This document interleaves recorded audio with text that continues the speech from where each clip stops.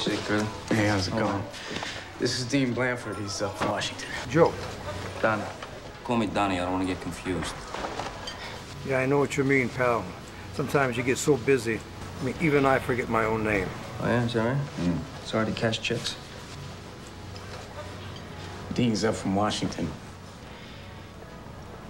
Yeah, you said that part already. What's next? You don't know it, uh, but the operation's beginning to bear fruit.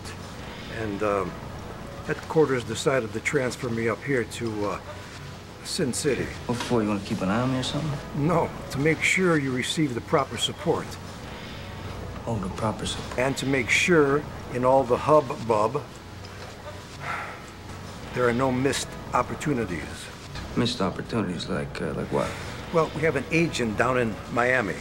He goes by the name of Richie Gazzo. Miami. His operation is potentially very sweet. Problem is, it's starting to languish, and it, it needs a jump start. Now, the Bureau would like you to go down there and see if you can interest some of your mob friends.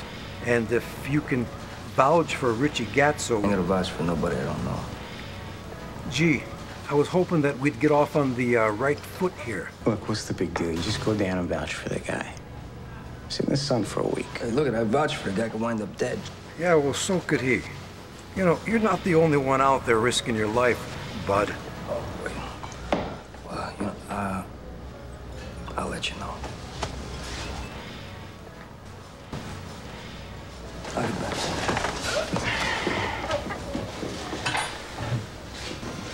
You'll let us know.